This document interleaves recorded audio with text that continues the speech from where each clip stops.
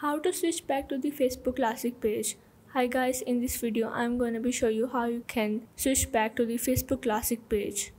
So let's get started. Firstly you have to go on your facebook manage page. So once you are in here you have to click on these three doors and after that here you have to find out the switch to classic button. If you can't find out the option here you have to go on your profile and here you have to click on your account page so once you are in here you have to go on the settings and the privacy and again click on the settings.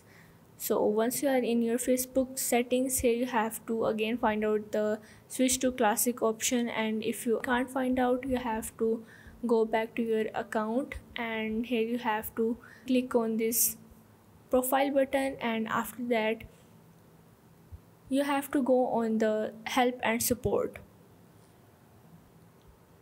now you have to open up the report a problem.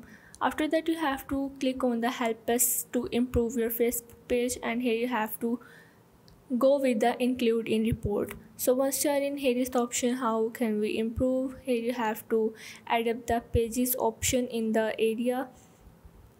Once you add the pages in the area here you have to add up some details. You want to contact facebook and tell them hi i can't or i would like switch back to my facebook classic page. Once you add up your report you have to click on the submit. That's it. Now you want to wait 24 hours and facebook will get back to you with a solution. So hopefully this video guys help you out. So this is how you can switch back to the facebook classic page